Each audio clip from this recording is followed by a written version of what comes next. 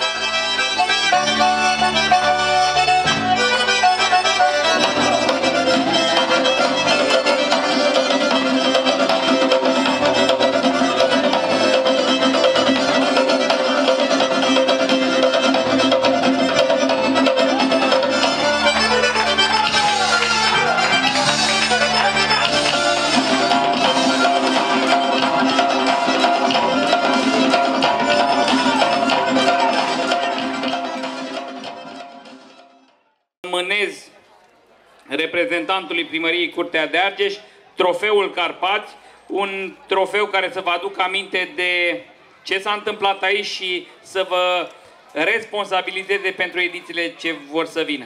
Doamne ajută să fim sănătoși! Fost șase zile de regal al frumuseții, de regal al tradițiilor. Iată, ne ajungi la final. Ehm, un festival Carpați, o ediție a anului 2023. Ne pregătim pentru anul viitor în care vă promitem noi că vom fi mai mari, mai frumoși. Pe scena Casei de Cultură au evoluat și ansamblurile din țara noastră, care au transpus simbolistic esența existenței noastre pe meleagurile pe care le-au reprezentat.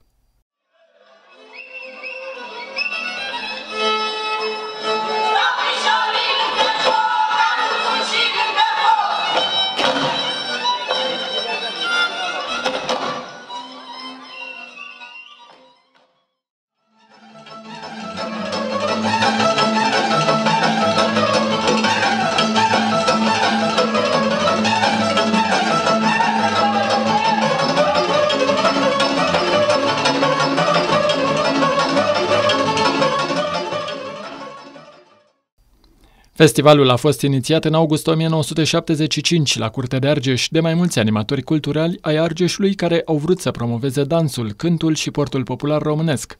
Evenimentul a fost creat de colectivul Centrului Creației Populare Argeș și de cei de la Casa de Cultură din Curtea de Argeș.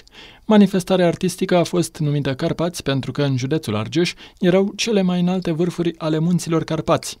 Ca loc de desfășurare a evenimentului a fost stabilit orașul Curtea de Argeș.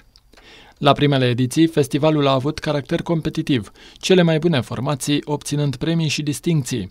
La început, concursul se desfășura o dată la doi ani, fiind considerat unul dintre cele mai valoroase concursuri de profil din țară. În perioada 1975-1988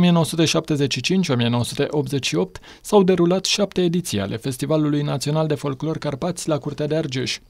Începând cu ediția din 1990, manifestarea și-a pierdut caracterul competițional intern. S-a renunțat și la desfășurarea într-un singur loc, la Curtea de Argeș, urmând să se susțină în mai multe orașe din județ. Consiliul Internațional al Organizatorilor de Folclor și Arte Tradiționale a inclus-o în calendarul său anual, devenind o prestigioasă manifestare internațională. La festival au participat de-a lungul timpului ansambluri și grupuri folclorice din America de Sud, America de Nord, Asia și Europa.